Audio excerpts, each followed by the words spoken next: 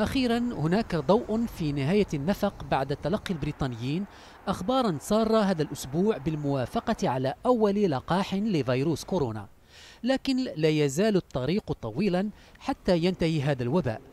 بوريس جونسون أكد خلال مساءلة مع عامة الشعب أن لدى حكومته خطة للخروج بأمان قدر الإمكان من أزمة كورونا بلقاح والالتزام بإرشادات منع نقل العدوى.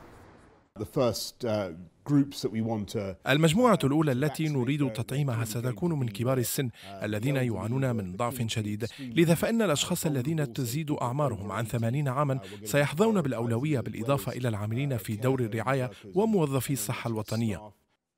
مجموعة العمل المكلفة بالتلقيح تحت إشراف وزارة الأعمال والطاقة والاستراتيجية الصناعية أوصت بحصول المعرضين للخطر من كبار السن والعاملين في القطاعات الصحية على أول جرعات من اللقاح قبل توسيع عملية التطعيم نظرا لكميات الإنتاج المحدودة وتحديات نقل وتخزين لقاح فايزر بايونتك.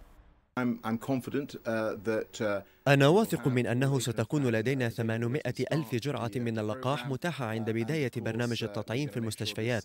وعند طرح اللقاحات على نطاق واسع ستكون هناك بالطبع مراكز تطعيم سيتم إنشاؤها في جميع أنحاء البلاد ويجب أن يشعر الناس بالثقة بشأن هذا اللقاح.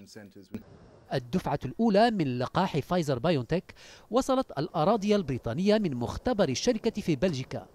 ويجري توزيعها على خمسين مستشفى لبدء أكبر عملية تلقيح تشهدها البلاد بانتظار الموافقة على لقاحات أخرى. مستشفى الكلية الجامعية UCL من بين سبعة مستشفيات في العاصمة البريطانية سيشرف على التلقيح في مرحلته الأولى قبل توسيع حملة التطعيم للسيطرة على الجائحة في أكثر البلدان الأوروبية تضررا منها. مصطفى زارو العربية لندن.